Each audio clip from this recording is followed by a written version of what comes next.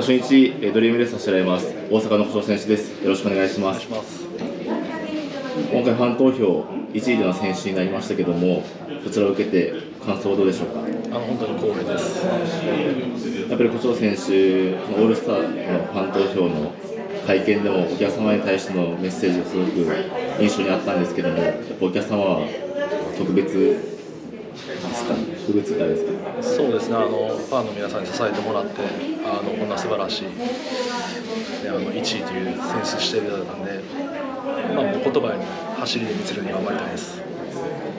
まあ、今回そのオールスターですけども初めて取った G1 になりますけども他の G1 と比べるとちょっと思い入れがあったりはしますか？ねいやもう本当に一つ一つの G1 って感じなんでいっぱいいっぱいなんであ 余裕ないですオールスターは近況毎年決勝に乗っていてあの、まあ、相性のいい戦いにはなるんじゃないかなと思いますけどもそこら辺はどうでしょうか？そうですね。そう思いますね。まあ今回ドリームレース近畿は脇本さんと2人になりますけども並び戦い方を教えてください。秋元さんの後ろです、はい。ご自身の状態はいかがでしょうか？まあ、数値的には良かったですけどあの一層走ってみてになると思います。わかりましたでは、えーこの後の意気込みとファンの方へのメッセージよろしくお願いします。えっ、とまた応援してもらうように頑張ります。